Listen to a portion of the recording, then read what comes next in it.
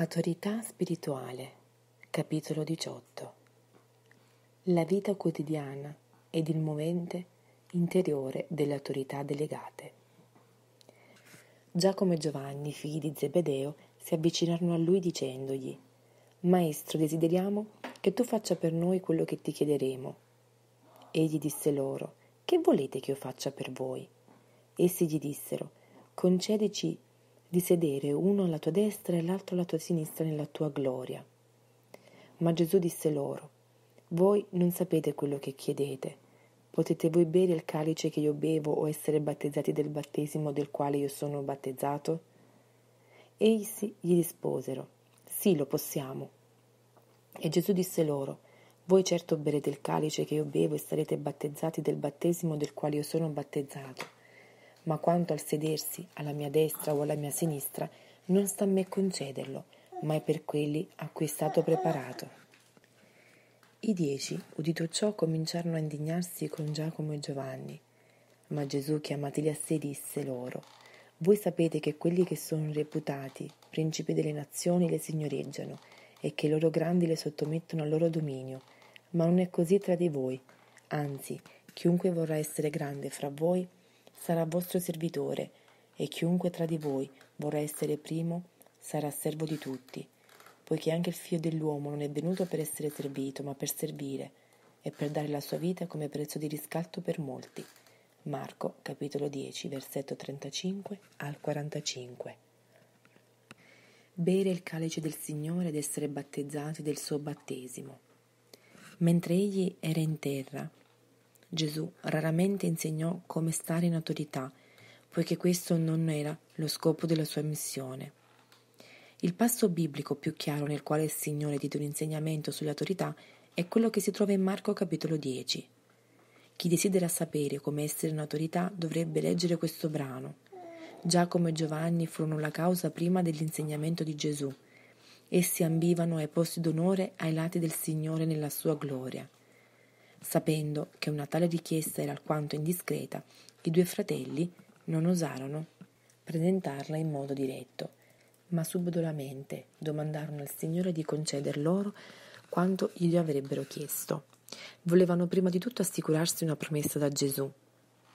Ma Gesù non accondiscese troppo presto, anzi chiese loro di specificare ciò che volevano, così essi dissero, concedici di sedere uno alla tua destra e l'altro alla tua sinistra, nella tua gloria.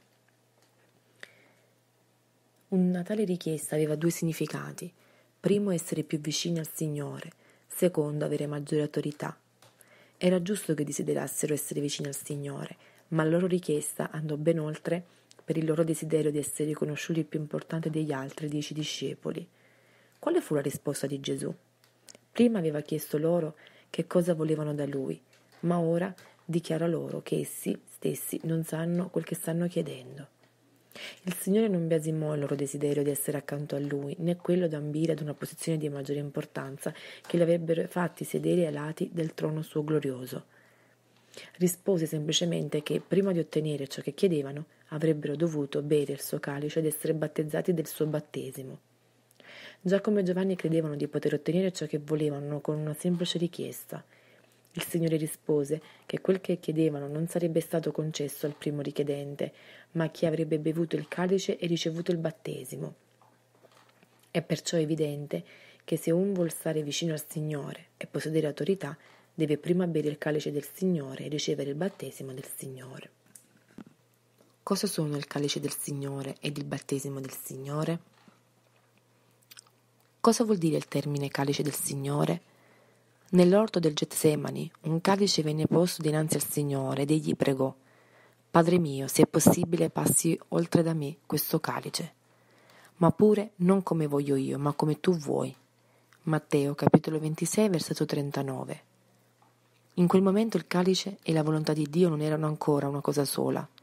Il calice avrebbe potuto essere rimosso, ma la volontà non poteva essere mutata.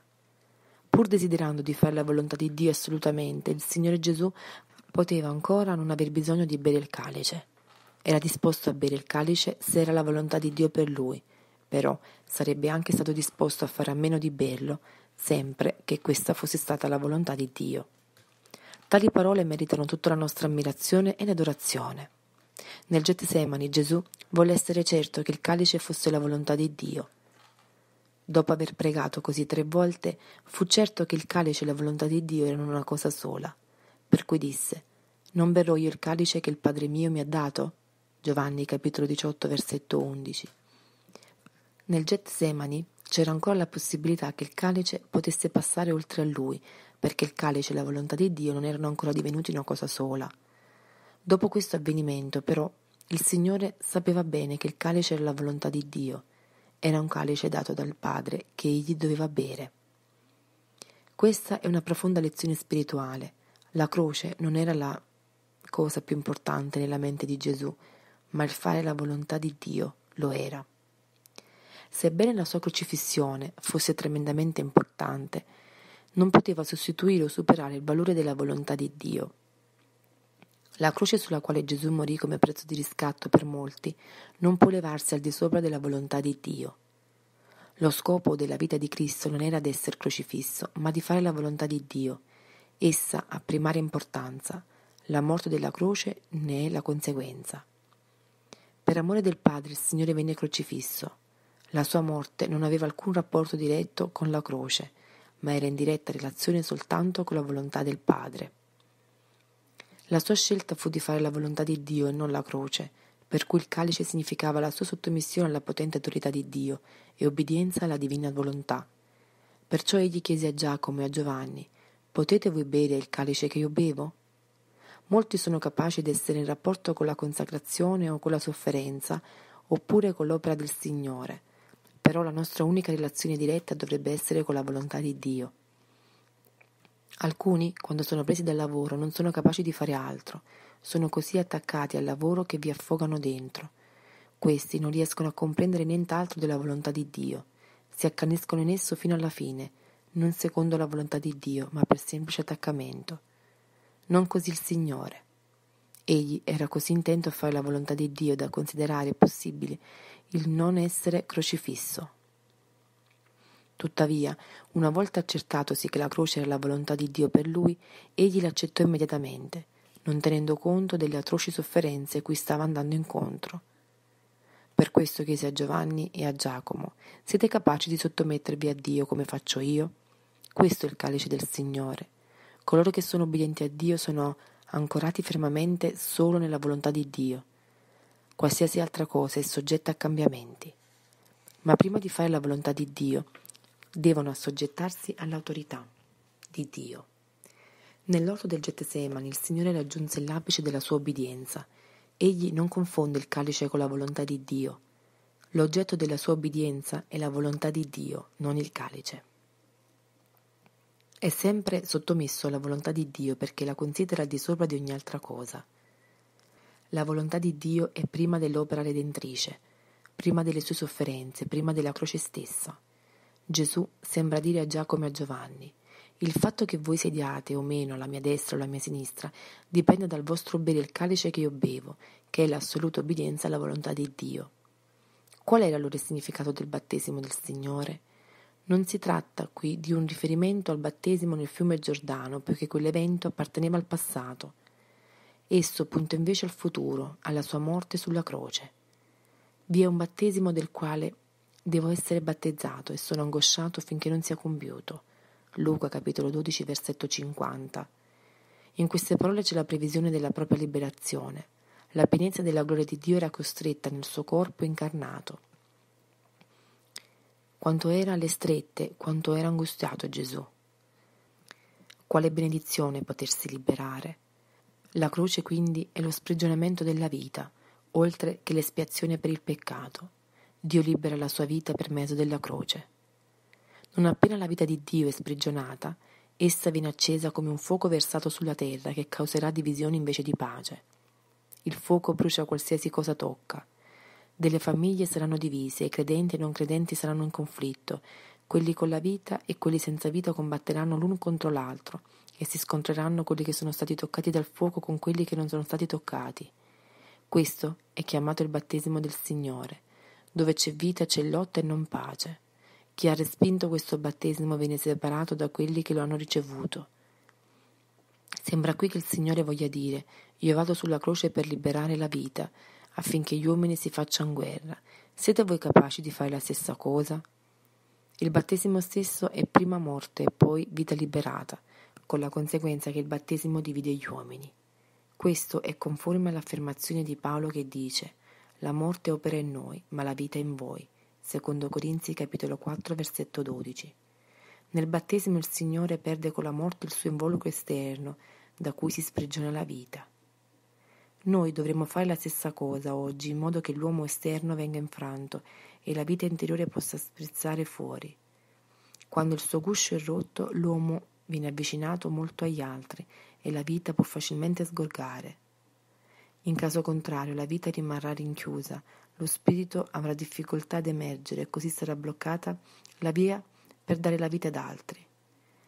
E quando il chicco di grano cade nel terreno e il suo involucro si apre, che comincia il flusso vitale per cui il Signore dice, chi avrà perduto la sua vita per amor mio, la ritroverà. Matteo capitolo 16 versetto 25. Il Signore non dice morire, ma essere battezzati, perché nessuno abbia a fraintenderlo pensando che Giacomo e Giovanni parteciparono con lui all'espiazione. Perché Cristo, che è il nostro sommo sacerdote, ha da solo espiato per i nostri peccati. Non c'è nessun altro che possa farlo, che possa prendere parte alla redenzione ma se non possiamo partecipare alla sua morte espiatoria sulla croce, possiamo senz'altro partecipare allo sprigionamento della vita. Di conseguenza il Signore qui parla solo della parte della sua morte che libera la vita e non dice nulla riguardo all'espiazione. Così sembra che egli ci dica il battesimo che io riceverò romperà il mio involucro esterno e sprigionerà vita. Volete voi essere battezzati in questo modo? A meno che uno non venga infranto, la vita non può essere sprigionata. Un uomo non collaudato da questa esperienza mantiene le distanze tra sé e gli altri. Sebbene possiate vederlo seduto vicinissimo ad altra gente, non può arrivare a loro perché la sua vita interiore non può fluire liberamente. Non appena tale vita comincia a scorrere, la terra perde la sua pace e gli fa guerra. Molti saranno divisi a causa di coloro che hanno questo tipo di vita fluente in loro. La differenza fra quelli che appartengono al Signore e quelli che non gli appartengono è grande. Molti contrasti sorgeranno fra quelli che conoscono Dio e quelli che non lo conoscono, fra quelli che pagano il prezzo e quelli che non lo pagano, fra quelli che accettano le prove e quelli che si rifiutano di accettarle. Probabilmente il Signore mentre parlava a Giacomo e a Giovanni voleva dire questo, giacché voi chiedete di differenziarvi dagli altri. Volendo sedere ai lati del mio trono, siete capaci oggi di distinguervi dal resto dei figli di Dio? Voi dovete prima bere il mio calice ed essere battezzati del mio battesimo, se volete sedervi alla mia destra e alla mia sinistra nella gloria. Pieni di presunzione, Giacomo e Giovanni risposero sì, lo possiamo. Malgrado ciò, il Signore non promise loro i posti che desideravano ai lati del suo trono. Sebbene avessero domandato malamente, il Signore rispose correttamente. Il suo pensiero è che se uno non beve il suo calice e non è battezzato col suo battesimo, non può sedersi né a destra né a sinistra. Ed anche se beve ed è battezzato, può finire col non sedersi al suo fianco per il semplice motivo che è Dio Padre stesso ad assegnare i posti che ha già preparato. L'autorità non è signoria, ma umile servizio.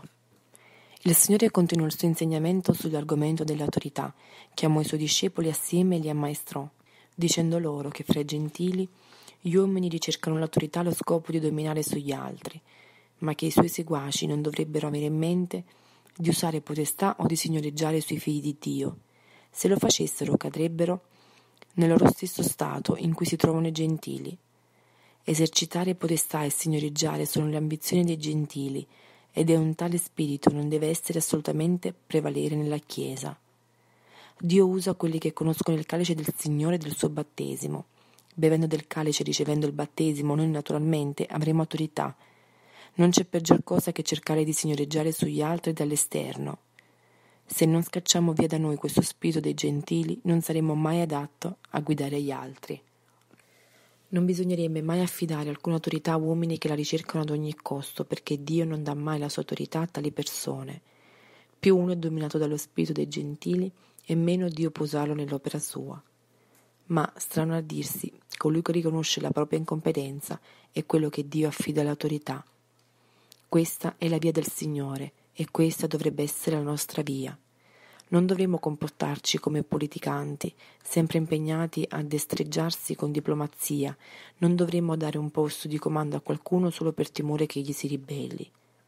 Nella casa di Dio bisogna agire spiritualmente e non politicamente.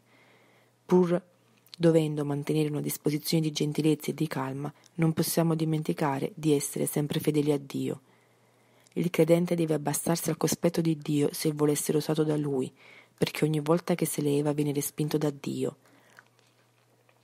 Quanta differenza fra il tipo di autorità in uso fra i gentili e quello usato nella Chiesa. I primi governano per rango, la Chiesa governa mediante il ministero della vita spirituale. È assolutamente rominoso per la Chiesa abbassarsi al livello dei gentili. Essa deve mantenere una netta separazione da loro. Chiunque fra noi si riconosce adatto ad essere in autorità è il meno idoneo. Dobbiamo mantenere in noi questa sensibilità importantissima. Per essere grande bisogna essere un servitore. L'autorità che Dio assegna deve avere un fondamento spirituale. Chi la riceve deve bere il calice, ossia deve obbedire totalmente alla volontà di Dio e deve ricevere il battesimo, cioè accettare la morte per poter sprigionare vita. Non deve avere alcuna intenzione di esercitare autorità, al contrario deve essere pronto a servire come servitore e schiavo di tutti. In altri termini, deve possedere da un lato una forte base spirituale, dall'altro un grande spirito di umiltà. Per il fatto che non cerca di essere in autorità, un uomo può essere da Dio usato a questo scopo. Non ha senso parlare dell'autorità se non si è bevuto il calice e se non si è ricevuto il battesimo. A chi è veramente umile e si considera adatto ad essere nient'altro che servitore di tutti, il Signore annunzia la possibilità della vera grandezza. La condizione per essere in autorità è un senso di incapacità e di indegnità. Se leggiamo attentamente la Bibbia ci rendiamo conto che Dio non ha mai usato un'anima orgogliosa. Nell'istante in cui uno diviene orgoglioso, Dio lo mette da parte e lo scarta. Il suo orgoglio interno presto tardi si rivela nel suo linguaggio, poiché nelle parole trapela continuamente quel che è nell'uomo interno. Nel giorno del giudizio di Dio molti saranno spiacevolmente sorpresi, ma più di tutti lo saranno gli orgogliosi. Dobbiamo sentire la nostra incapacità perché Dio non usa quelli che sanno di essere capaci. La diplomazia dei guanti bianchi non è di casa qui. Al contrario, va abita il buon senso di riconoscere che siamo solo dei servi inutili. Anche se abbiamo pascolato il gregge e lavorato il campo, tornando a casa ci riconosciamo ancora dei servitori senza meriti. Non dovremmo mai dimenticare di rimanercene a livello della servitù. Dio non affida mai la sua autorità all'ipocrita e al presuntuoso. Gettiamo via la boria e impariamo a essere umili e miti, non parlando mai di noi stessi, impariamo a conoscerci agli occhi di Dio. Finalmente il Signore disse, poiché anche il figlio dell'uomo non è venuto per essere servito, ma per servire e per dare la vita sua come prezzo di riscatto per molti. Gesù non viene per esercitare autorità, ma per servire. Meno uno è presuntuoso, più si umilia e più sarà utile. Più uno è borioso e fazzoso, e meno utile sarà. Nostro Signore prende la forma di uno schiavo, essendo nato nella somiglianza d'uomo. Non allunga mai la mano per afferrare l'autorità, perché essa gli è data da Dio. Il Signore Gesù dall'umiltà in cui era sceso fu innalzato all'altezza più elevata. Questo è il suo principio di vita. Non allunghiamo mai le nostre mani carnali per aggrapparci ad un'autorità terrena. Siamo schiavi di tutti e un giorno Dio ci affiderà una responsabilità speciale. Così impareremo a rappresentare Dio. Per cui il ministero è la base dell'autorità. Il ministero viene dalla risurrezione, il servizio viene dal ministero e l'autorità dal servizio che il Signore ci liberi dall'essere altezzosi. Quanto sarà grave la condanna di coloro che arraffano l'autorità di Dio con le loro mani carnali. Dovremo temere l'autorità come temiamo il fuoco dell'inferno. Non è cosa facile rappresentare Dio, è troppo elevato, è troppo meraviglioso. Noi abbiamo bisogno di seguire fedelmente la via dell'ubbidienza. Il nostro sentiero è l'ubbidienza, non l'autorità, è l'essere servitori, non capi, è l'essere schiavi, non governanti. Sia Mosè che Davide furono grandi autorità, ma nessuno dei due tentò di stabilire da sé una propria autorità. Chiunque oggi ha il desiderio di essere un'autorità dovrebbe seguire le loro orme. Dovrebbe esserci sempre timore e tremore nel trattare argomenti come l'essere in autorità.